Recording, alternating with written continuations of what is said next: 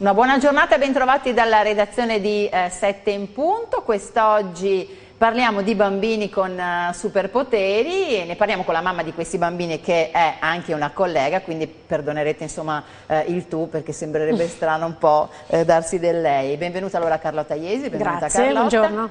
Benvenuta doppiamente perché Carlotta arriva da Milano e quindi insomma è stato anche un po' più faticoso raggiungerci. Vi faccio vedere il libro di Carlotta che ha scritto peraltro eh, altri libri, ma questo è un po' un, un, libro che nasce... Un libro del cuore. Un libro del cuore, no? Eh, I miei bambini hanno i superpoteri, storia della nostra eh, dislessia. Eh, Carlotta è anche fondatrice di eh, Radio Mamma, un portale importante, poi magari eh, ve lo racconteremo. Partiamo però eh, da questi bambini con i superpoteri e facciamo raccontare direttamente a Carlotta quali sono questi superpoteri mm. e come si sono manifestati. sì. questa è la storia appunto della, della nostra dislessia, cioè dei, dei, nostri due figli di 12 e di 10 anni che oggi fanno quindi la seconda media e la quinta elementare, eh, che però è anche un po' la dislessia di tutta la famiglia, perché poi insomma questo disturbo specifico dell'apprendimento impatta tantissimo sulla vita quotidiana, sui ritmi eh, e in generale anche proprio sul modo di parlare e di relazionarsi all'interno di una famiglia. Eh, I superpoteri li abbiamo scoperti dopo una iniziale fase di, di smarrimento, che infatti nel libro è raccontata in una fase di giù, no? di questa discesa un po' nella palude dei, dei disturbi specifici dell'apprendimento e di uno smarrimento da un lato perché vedevamo il nostro figlio maggiore che a quel tempo era in quarta elementare proprio sfiorire un po' davanti ai nostri occhi, no? la, soprattutto la sua autostima crollare, eh, dalle pagine dei quaderni questa sensazione di incapacità si era un po' diffusa a 360 gradi sul campo da calcio, calcio, all'oratorio, agli scout, eccetera, quindi in tutta la sua socialità e lo smarrimento mio e di mio marito davanti alla scuola che non aspetta, appunto queste difficoltà dei bambini che non riuscivamo a capire e che abbiamo scambiato per 100.000 altri sintomi all'inizio prima di capire cos'era sì, veramente. Letto, no? Di tutto praticamente, la preadolescenza, la, insomma, sì, un male, di... abbiamo fatto tutte le visite mediche del caso, dall'ortopedico, dal dentista, eccetera, perché c'era sempre eh, nostro figlio più grande appunto somatizzava un po' questa sofferenza e quindi insomma prima di capire che di dislessia si trattava ci abbiamo messo un po' questa iniziale fase appunto di paura, di liti, di, così, di, non sapere bene dove girarsi e poi a un certo punto, eh, quando noi abbiamo fatto i test, quando abbiamo avuto la certificazione, eh, la scelta di non concentrarci solo sul dis, che è un po' questo prefisso odioso no? di qualcosa che non va, di, di, disfunzione, ma anche sui superpoteri della dislessia, che poi sono quelli che la dislessia si porta un po' appresso, la dislessia nelle sue varie forme, che sono appunto la disgrafia, la discalculia, la disortografia. Eh, quali sono? Sono l'immaginazione, l'intuito, la creatività, eh, un po' sapevamo che esistevano perché vabbè, ci sono i grandi dislessici del passato, basta Tra pensare... ti interrompo perché proprio di grandi eh. cioè i grandi dislessici introducono ogni capitolo, no? Facciamo qualche nome perché è un po' anche una strategia quella eh, di far capire magari ai bambini che persone che poi sono diventate eh, importanti, non, non, in quanto famose, ma importanti per quello che hanno fatto, quindi per questi loro anche superpoteri, eh, sono stati probabilmente eh, bambini in difficoltà, eh, soprattutto bambini a cui l'autostima è stata un po' sì, sì, beh, certo, flagellata sono, in qualche modo. Ci sono i grandi dislessici del passato, no? il famoso Einstein che prendeva 5 in matematica, io ho sempre fatto vedere la pagella di Einstein ai miei figli, 5, e poi ha vinto il premio Nobel, piuttosto che eh, Leonardo, che era così, eh, lui pensava proprio come fanno i dislessici, per immagini invece che per suoni delle parole, quindi aveva, era talmente creativo, vedeva in testa delle immagini tridimensionali rivoluzionari da inventare eh, le macchine del futuro e allo stesso tempo però da scrivere al rovescio. No? E, e, poi ci sono i dislessici di oggi eh, che, forse, che noi siamo andati a stanarci un pochino perché appunto i nostri figli dicevano sì vabbè però insomma Quelli loro sono chissà, eh? morti e sepolti, no? come può dire un ragazzino. E quindi Mika, il cantante, che adesso ha fatto anche questa sorta di suo outing no? sulla dislessia, oppure Jamie Oliver, lo chef, oppure Fonzi no? di Happy Days, gli attori, Orlando Bloom, insomma più riuscivamo, più abbiamo cercato dei, così, dei, personaggi vicini a loro, più siamo riusciti in qualche modo a fargli capire che concentrandosi appunto sui talenti, sui superpoteri, si poteva trovare una strada proprio per tenere a bada quelle certo. che sono le difficoltà. Anche perché tu parlavi della pagella, però no, se, se, se ricordo bene, e quando tu hai mostrato la pagella a tuo figlio, lui ha detto sì, ma chissà come si è sentito, esatto. medesimandosi, diceva, anche se si tratta di una persona. Certo, lui ci ha proprio chiesto, ma qualcuno gliel'ha chiesto Einstein come si sentiva quando certo. ha preso certo. quel 5 in matematica, in fisica, non mi ricordo più che matematica materia fosse, però insomma e a lui del dopo non, insomma, c'è, c'era questo tema della sofferenza adesso, qui e ora in classe, del certo. sentirsi di colpo più stupidi, più scemi, di vedere le parole che spuntano fuori dalla lavagna di non capire perché, di arrivare a casa con i compiti scritti in qualche modo e non riuscire a leggersi e il diario. E poi questo sottolineare no, spesso degli insegnanti eh, queste, queste, tra virgolette eh, mancanze e non capire che magari il concetto al, al bambino dislessico può arrivare se spiegato non con i canoni tradizionali. Sì, certo, purtroppo noi abbiamo trovato molta rigidità dovuta non credo alla cattiveria degli insegnanti, piuttosto magari a una mancanza di preparazione specifica e quindi insomma eh, questi scrivi meglio, scrivi meglio in rosso, giganti, che tutti i weekend ci tornavano a casa scritti sui quaderni, insomma erano proprio dei voti che feriscono un po' come delle pallottole no?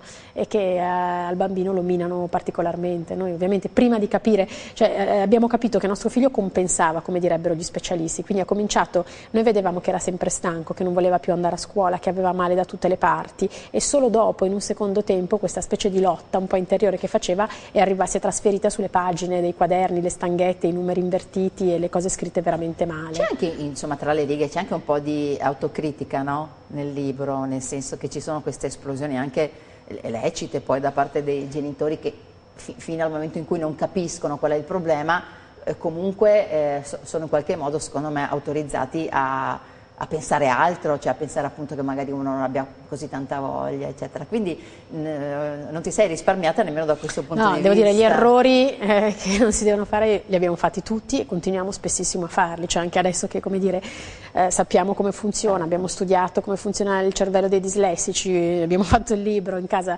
insomma parliamo di questo tema sempre, eh, non più tardi dell'altro giorno mi sono trovata a sbattere il quaderno in testa a mio figlio perché mi aveva veramente fatto andare fuori dai gangheri, per cui diciamo che quello che ti insegna è a un certo punto che tu genitore non devi più guardare un po' dall'alto, sempre con amore, ma dal piedistallo tuo figlio, con i canoni di chi, come dire, sa che si studia in un certo modo, che l'impegno è questa cosa qui, che il compito fatto bene è quest'altra, ma fare come un po' un passo indietro e lasciarti certe volte stupire anche da come tuo figlio ha un modo diverso di risolvere i problemi, anche più banali, tipo studiare per esempio, no?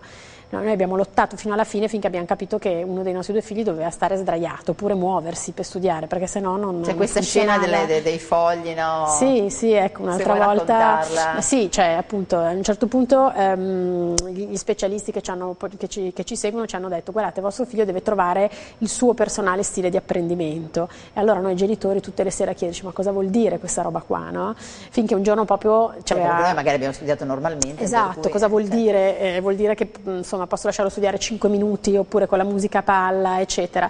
Insomma, una volta che proprio stavamo litigando perché non riuscivamo a trovare una, una, dire, un canale di comunicazione, gli ho detto vabbè ma arrangiati, gli ho proprio sbattuto la porta della stanza e sono andata via.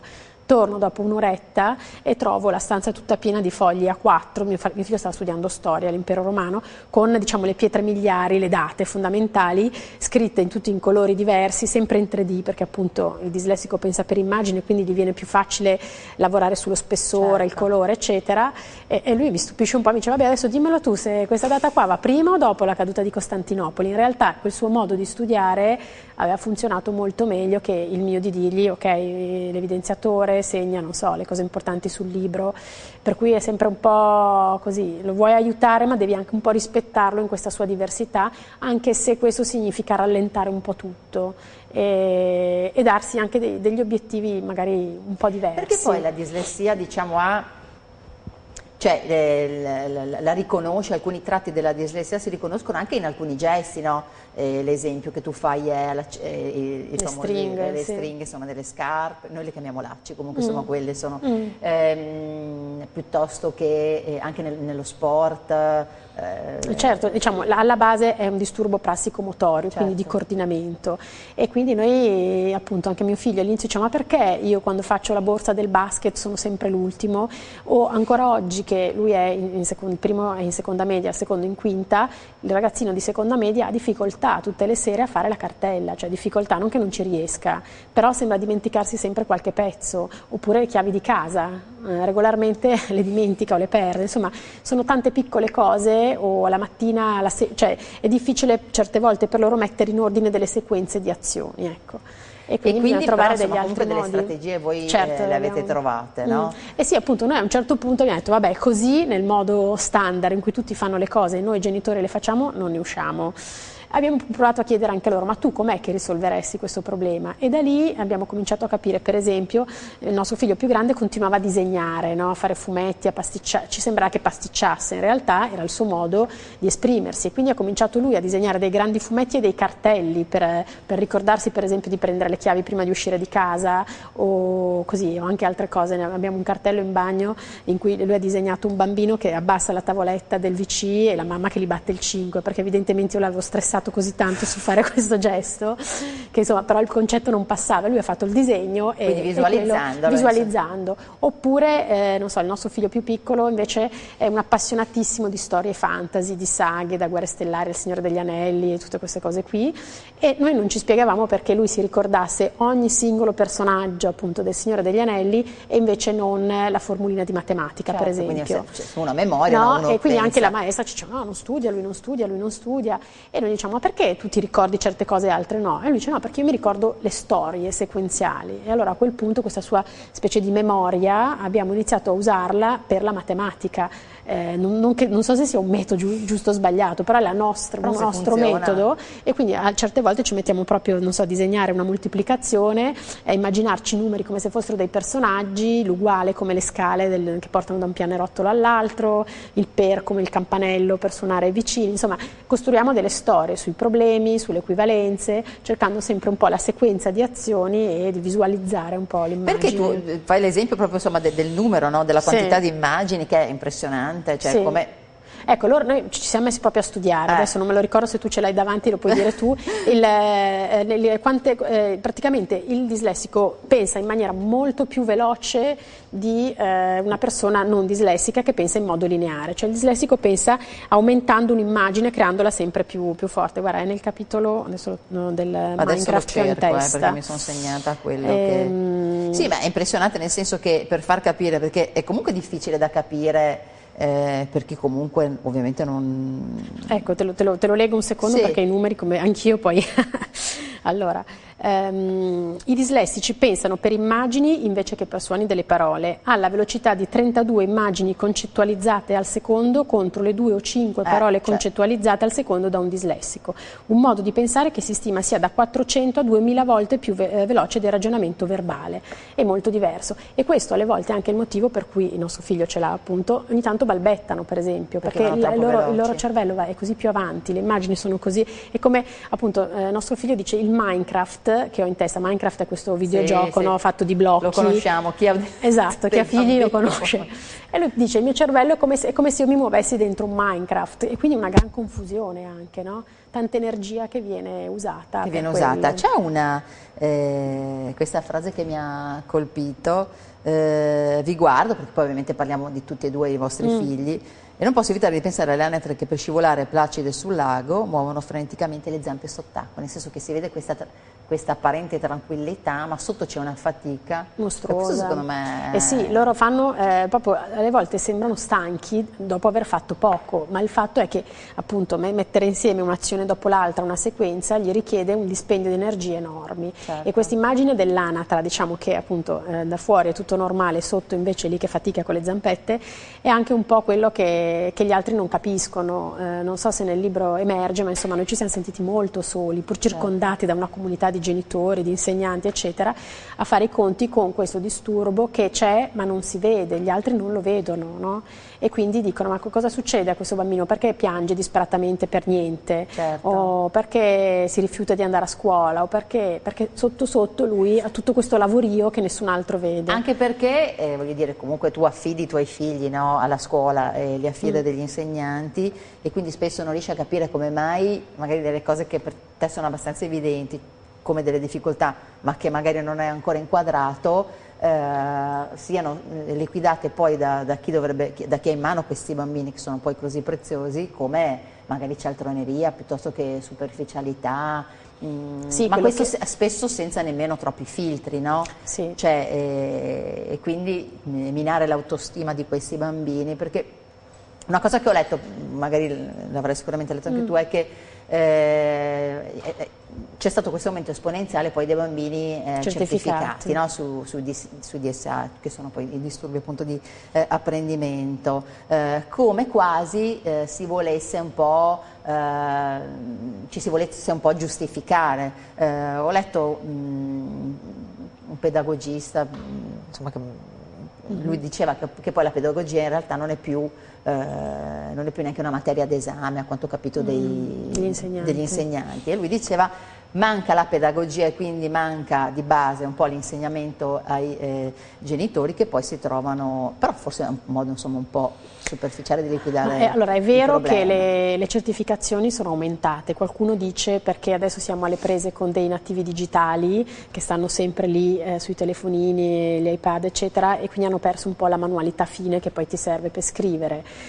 Ma potrebbe essere, ecco, eh, di certo eh, c'è una scuola, che, almeno per quello che ho potuto vedere io, una scuola pubblica che è sempre più in difficoltà, con presenze che non ci sono tra le due insegnanti e quindi il bambino che è un po' più fragile degli altri, un po' più lento degli altri diventa un problema e si tende in qualche modo a eliminarlo. Oppure, visto che c'è la legge sulla dislessia che prevede tutta una serie di ausili e di sì, metodi compensativi, gli ausili possono essere l'utilizzo della calcolatrice, del computer, certo. eccetera, metodi metodi compensativi di dare del tempo in più durante le verifiche o verifiche facilitate, si tende a dire va bene, c'è una certificazione, allora sei autorizzato praticamente a non fare nulla. La mia personale posizione, una, una allora, eh, la mia personale posizione su questo è che ci sono dei casi in cui il ricorso agli ausili è assolutamente necessario perché o, o la dislessia è molto grave oppure viene diagnosticata molto tardi. Nel caso dei nostri figli, appunto l'abbiamo stanata nel, nei primi anni delle elementari, non era così grave, non eravamo così in ritardo e quindi un po' consigliati da questi specialisti abbiamo detto no vabbè noi non vogliamo usare non, non so, la calcolatrice per imparare a fare le moltiplicazioni o le divisioni no? E, e, e, gli insegnanti eh, ci hanno detto ma come non volete dare ai vostri figli tutti gli ausili previsti? E noi gli abbiamo detto finché si può no, vogliamo che continuino a esercitare il loro cervello e pace se prendono 6 invece che 9. No? Certo. Però questo agli insegnanti ha posto un problema perché vuol dire che anche tu ti devi mettere un pochino più in gioco.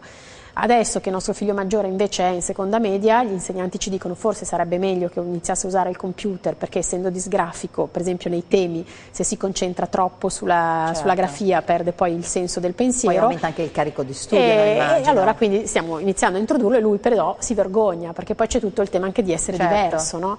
Per cui insomma, ehm, no, secondo me è troppo semplice, come dicevi, eh, dire no, ci sono troppi dislessici, non riusciamo a gestirli, va fatta una formazione vera. Mi è capitato di una insegnante insegnante giovane che mi ha scritto su Facebook dicendo guarda ti, ti chiedo scusa da parte della categoria, però ti voglio dire che, noi, che tante volte noi insegnanti proprio non sappiamo come si sente un, un, ragazzino dislessico, cioè vediamo lo sbruffone, quello che fa un po' lo sbruffone perché non vuole far vedere di essere imbranato, vediamo quello che sembra addormentarsi, ma non sappiamo dietro appunto le zampette dell'anatra che, che, che, cosa, stanno facendo. Però voglio dire c'è anche modo poi di informarsi, no? Certo. Mi viene da dire che no. ci sono anche... Ehm, probabilmente ci sono due ma, ma, macro categorie di insegnanti, sto ovviamente eh, sì, certo. minimizzando e generalizzando, ma ci sono insegnanti magari motivati, preparati e anche formati e ci sono quelli che vanno avanti per quella strada e anche, voglio dire, di fronte magari a un piano didattico personalizzato, che è quello a cui hanno diritto questi bambini certo. nel momento in cui vengono eh, certificati, non si fermano e continuano sì, a pensare che magari il bambino sia svogliato eh, però voi avete fatto una scelta precisa, adesso ti faccio la domanda poi mm. lancio la pubblicità. Eh, nonostante eh, le, le, difficoltà, soprattutto anche a livello emotivo di, di vostro, dei vostri figli, non avete eh, cambiato scuola, no? mm. Anche quello insomma alla fine eh, comporta sì. anche un dispendio di energie perché magari in qualche modo uno potrebbe pensare che sarebbe stato più semplice invece cambiare scuola, non è detto, perché mm. bisogna vedere poi dove, dove vai, vai. Eh, quando cambi. E adesso però c'è la pubblicità, quindi la risposta dopo. Okay.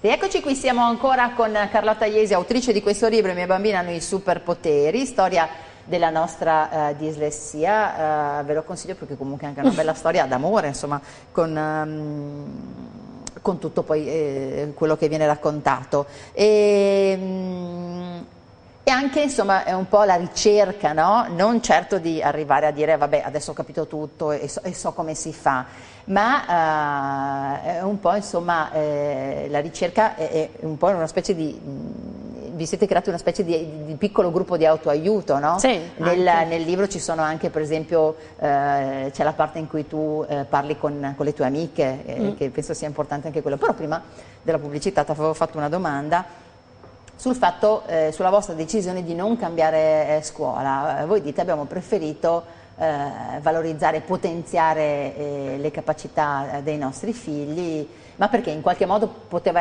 essere considerata una sconfitta cambiare Allora, devo dire, scuola. mille volte ci abbiamo pensato, mm. no? eh, cambiamo scuola, non cambiamo scuola. Ci siamo anche guardati in giro per vedere se esisteva un po' questa scuola dei sogni certo. Che cercavamo e di fatto non l'abbiamo trovata. Ma alla base abbiamo, abbiamo pensato che l'insegnamento forse più giusto da dare ai nostri figli, che comunque con la dislessia conviveranno sempre, era quello di in qualche modo eh, imparare a superare le difficoltà attingendo dalle loro forze eh, e far capire che insomma un capo che non ti capisce nella vita ce l'avrai sempre, un, un, collega eccetera e che devi trovare tu le risorse in qualche modo per, eh, così, per contrastare questa cosa e riuscire a superare una difficoltà, un ostacolo.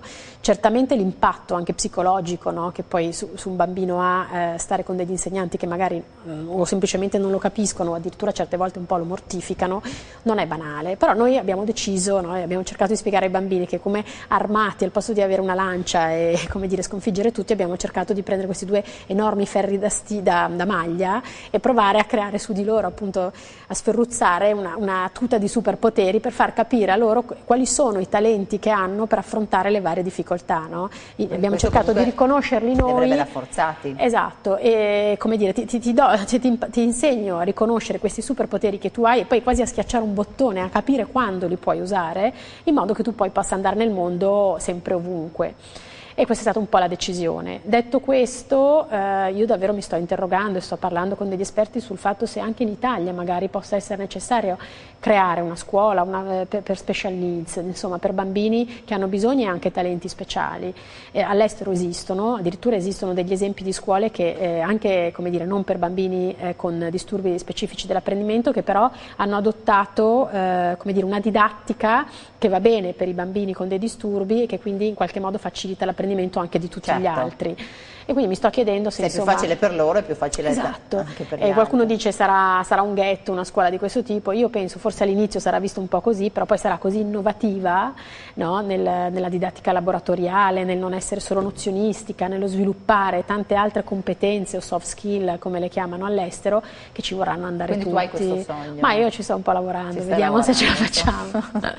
eh, partendo da Milano naturalmente, sì, l'abbiamo detto tu. Però penso che sia un bisogno, insomma si parla di due milioni di persone in Italia, certo. qualcuno dice un bambino su cinque nelle classi, uno su tre, insomma sono numeri che... Tra l'altro mm. eh, cioè, arrivare a capire che un bambino è effettivamente, mh, ha effettivamente uno di questi... Mh, di questi disturbi eh, non è un percorso eh, semplice, non è che tu vai e uno ti dice sì ce l'hai, no non ce l'hai, ci sono anche dei tempi eh, lunghi, non, strutture accreditate non ce ne sono moltissime, quindi ci sono anche bambini che vivono nel limbo per un bel po' di tempo, sì. magari continuano ad andare a scuola con quella, con quella, difficoltà emotiva che abbiamo raccontato anche mm. e che ha riguardato i tuoi figli e, e, e, e subiscono in qualche modo. Certo. No? Sì, ci sono, alle volte passano anche nel, dal momento in cui fai i test a quando hai la certificazione 3-4 mesi, se hai la fortuna come dire, di trovare appunto la struttura accreditata, privata, perché se devi passare dal pubblico molto spesso ci sono delle liste di attesa. Io avevo provato per esempio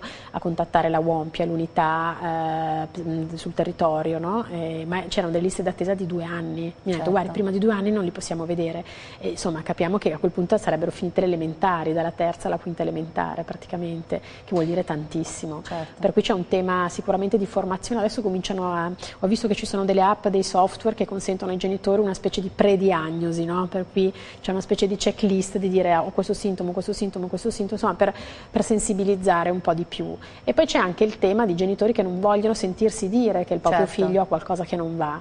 No? Per cui gli insegnanti, io ho parlato anche con tanti insegnanti che dicono ma io le noto certe cose, però ho paura di dirlo perché non tutti i genitori vogliono sì, eh, sentirsi dire questo. Il problema è che negarlo non serve a nulla, no, cioè certo. conviene affrontare il toro per le corna e poi magari appunto non vedere tutto in negativo, no? come abbiamo cercato di fare noi, ma vedere in positivo e capire insomma qual è l'altra faccia della dislessia. E poi c'è anche un aspetto non trascurabile che è quello dei, dei compagni, no? degli amici mm. e, e, dei genitori, mm. eh, magari genitori eh, che sono super performanti o pensano di esserlo mm. e, e, pensano anche di avere eh, dei figli così e, e, e, magari ci mettono il carico, no? Rispetto... Eh sì, eh, devo dire, la nostra esperienza è stata appunto molto di solitudine e di incomprensione, nonostante che noi si andasse fuori da scuola a dire ma mm, a nostro figlio sta succedendo questo, vi sembra normale?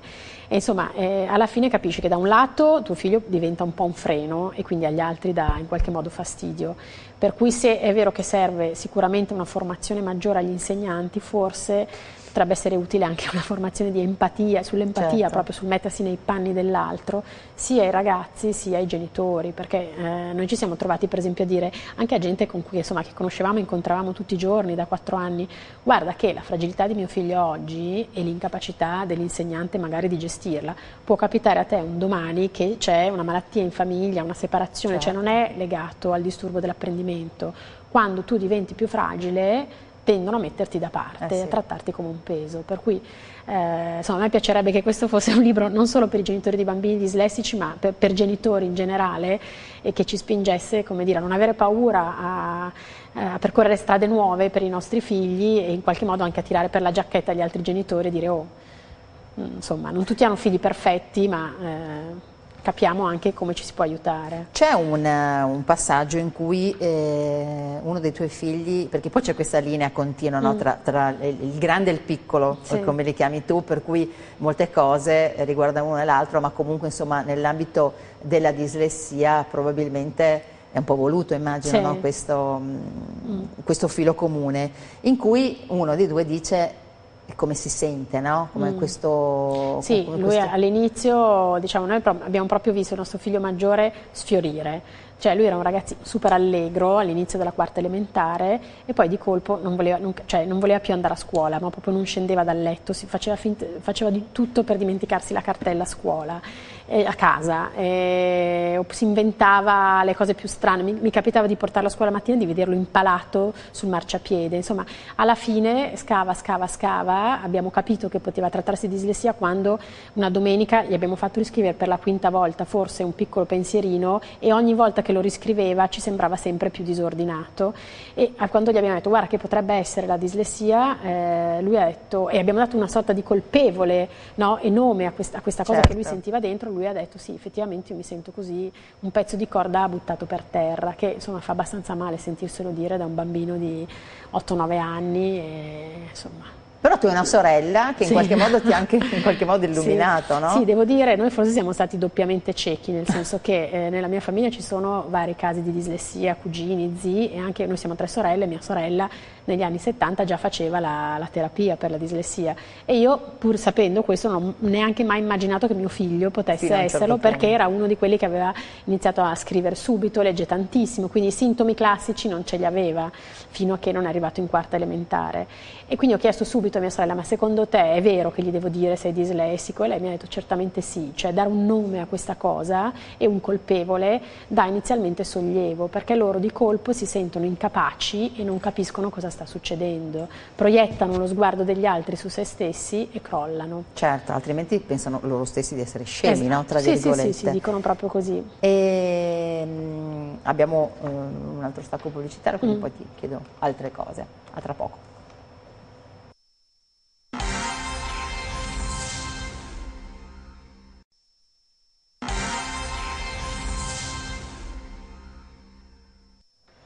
Eccoci qui, altri dieci minuti per chiacchierare con uh, Carlotta Iesi, però se potete eh, vi consiglio di comprare questo libro eh, che è il racconto dei suoi due bambini, ormai insomma per, adolescenti, quindi forse se li chiamiamo bambini si offendono. Mm, è la storia di questa dislessia, che poi è una dislessia di famiglia, no? ma sì. di famiglia in, in, due sensi, cioè nel senso che in, nella tua famiglia eh, c'erano stati, come ci ha raccontato poco fa, eh, dei, dei, casi di dislessia a tua sorella, mm -hmm. in primis, e poi di famiglia perché comunque questa cosa impatta eh, sulla famiglia. Giustamente tu dici, e lo dici anche nel libro, ci sono eh, situazioni molto gravi, no? pensiamo a bambini magari con gravi disabilità eh, e quindi eh, sembra quasi che uno non possa, eh, non possa esprimere invece il proprio eh, disagio nel, nell'essere magari solo di fronte a una diagnosi di dislessia e nel sentirsi non capito in qualche modo. No? E poi c'è la fatica eh, di tutti i giorni. E, ehm, però c'è una parte eh, che riguarda eh, poi le tue amiche, no? sì. eh, che è una bella, una bella, valvola quella di, di sfogo, sì, certo. no? perché come c'è il genitore che magari ride e tu lo racconti di, una, di un'altra persona della, degli errori ortografici di una bambina durante una caccia al tesoro, poi c'è il genitore che ti capisce eh, perché c'è dentro probabilmente, ma io voglio pensare che ci siano anche persone che non essendoci dentro un po' di empatia la provino, sì.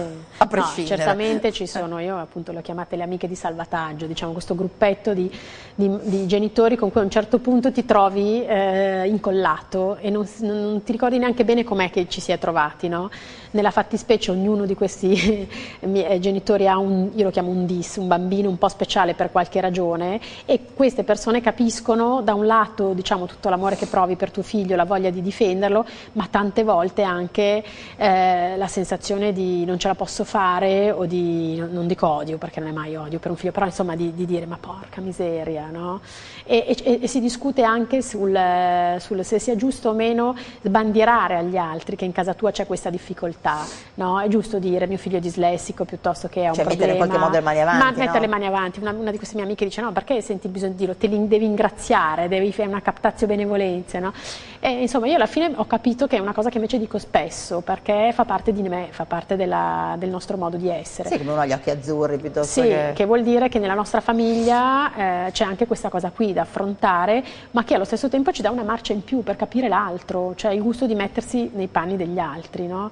Non è semplice. E però... poi non doverlo giustificare, esatto. no? Anche per, sì. per i ragazzi, cioè non dover dire magari nel momento in cui uno scopre come scrivi mm. piuttosto mm. che eh, come leggi, ma se tu lo sai, come dire, diventa quasi un, una cosa normale, no? Sì. Come, eh, le sedie a rotelle, se ce ne fossero tantissime, ne sono certo. le, le ecco, certamente il nostro figlio maggiore che oggi fa la seconda media, ecco appunto dicevo prima, sta cercando di introdurre, noi cerchiamo di fargli usare adesso il computer in classe, fa una resistenza pazzesca perché è diverso, certo. in seconda media è quasi una, una bestemmia, no? una parolaccia e insomma non è semplice perché abbiamo questi eh, esempi di, appunto, di tutti perfetti, di tutti bravi, di tutti con 2000 follower su, sui social network, no? la performance e tu invece sei lì che devi dirgli guarda che la vita non, è, non sono i 100 metri ma è una maratona, tu magari in questa fase qui ti stai ancora cercando ma poi a un certo punto verrai fuori.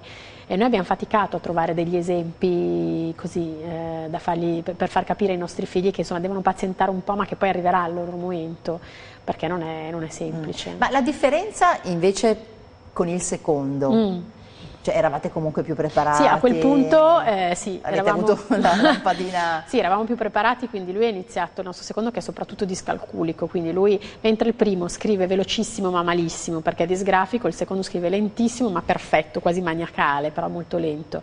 Il suo problema è soprattutto con la matematica, è discalculico, quindi non riesce bene a incolonnare le cose, eh, quando vede i numeri va in confusione, addirittura proprio suda, cioè vede una pagina di operazioni e per lui è come avere davanti una scalata da fare, certo. no?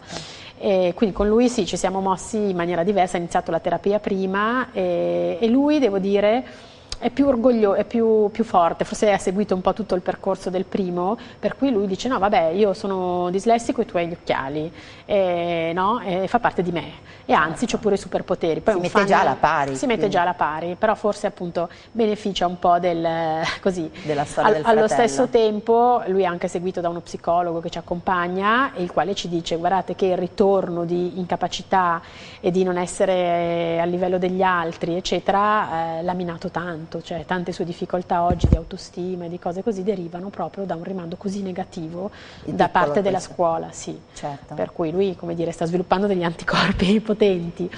Però, questo cioè... magari se non altro eh, gli altri lo sentono, no? Penso sì. altri, cioè i compagni. Sì, sì, sì, sì, lui lo dice subito, anche lui spiattella subito questa cosa, mentre il primo sta un po' più attento all'immagine, forse un po' più grande, il secondo dice no, fa parte di me questa cosa qui. E questa cosa che li unisce? E li unisce nel senso che loro, come dire, si menano come due maschi, certo. no? spesso, però hanno poi uno per l'altro un po' questo sguardo eh, che, che, si capiscono, loro lo sanno come funziona il loro cervello, certo. le cose che riescono a fare e che non riescono a fare e spesso intervengono quando invece tu hai un momento di blackout e non li capisci, no? Per esempio io racconto del fatto che, non so, nostro figlio che è un appassionato di sci, cioè quello più piccolo, un certo punto, ogni volta che, ogni volta che rinizia la stagione, lui la prima pista non la vuole fare, cioè proprio si rifiuta di scendere e noi diciamo ma perché, ma perché? E ci, eh, recentemente appunto cioè, è venuto in soccorso il fratello maggiore dicendo ma perché lui non si ricorda di essere capace mm. e a noi succede cioè, perché a lui, so. sì te lo dico io che lo so, che anche lui non si ricorda certe volte di essere capace di nuotare, di andare in bici, proprio non so come dire, gli automatismi, le sequenze gli riescono molto difficili. Allo stesso tempo invece spesso ci prendono in giro, a me e a mio marito, che adesso ormai scherziamo, diciamo scusate guardate noi che non siamo dislessici, possiamo... So, esatto, eh, dobbiamo andare a cucinare perché noi l'arrosto non riusciamo a immaginarcelo, no? il profumo, il sapore e quindi insomma c'è seguendo la ricetta passo esatto, passo. per cui insomma alla fine sono anche loro che adesso si è un po' capovolta la situazione, ci, ci danno una mano, però non è, non è per niente semplice. Non è facile, ecco, però magari questa cosa che li unisce forse gli dà anche forza, no? Sì, gli dà forza e poi secondo me c'è un altro tema che è quello dei costi, che insomma su una famiglia eh sì. le terapie costano, mm. spesso sono un secondo mutuo, se uno ha un mutuo, insomma, per cui devo dire la formazione degli insegnanti... Eh, Costerebbe meno. Sì, mm, e farebbe meglio sì, a tutti. Sì. Siccome abbiamo solo tre minuti, io volevo mm. anche eh, che ci raccontassi un po' Radio Mamma, perché poi insomma è un po' la, la tua creatura, no? Sì. Tu e di altre. Eh, sì, sì, da sola non l'avrei mai... eh, se ce la riesci a raccontare. Allora, radiomamma.it è diciamo, un'impresa al femminile che abbiamo creato nel 2008 eh, per creare una città più a misura di famiglia, cioè l'idea era eh, usare il, il web per dare al genitore lo stimolo, lo strumento per migliorare la città e renderla più a misura di famiglia.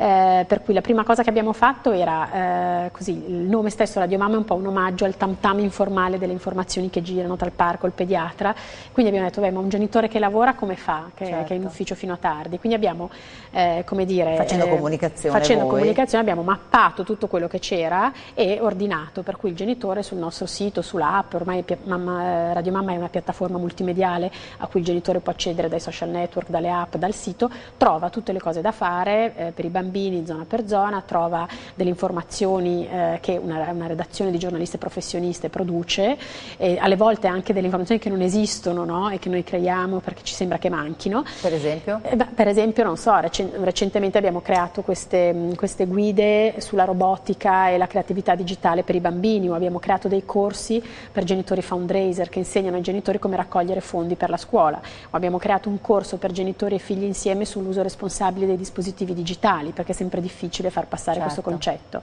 Poi abbiamo ideato un bollino di qualità family friendly, un bollino blu, eh, che una rete di mamme antenne di quartiere, cioè che vivono e lavorano nei vari quartieri, vanno a rilasciare agli esercenti e ai professionisti che pensiano in maniera innovativa alla famiglia. Possono essere, non so, adesso mi viene in mente scuole, musei, eh, bar, autoconcessionarie, cinema, insomma realtà che sono accoglienti e attente nei riguardi della famiglia.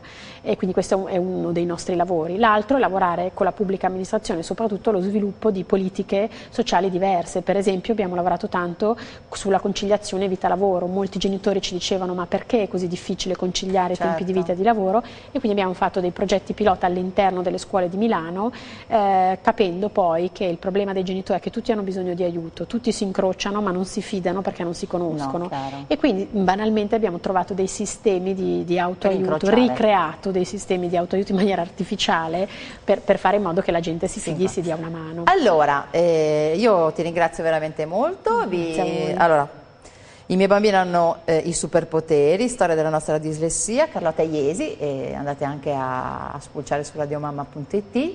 E grazie veramente per essere stata con noi. Noi ci rivediamo tra pochi minuti con un'altra ospite. In qualche modo parliamo di bambini, ma eh, di cibo. A grazie a tutti.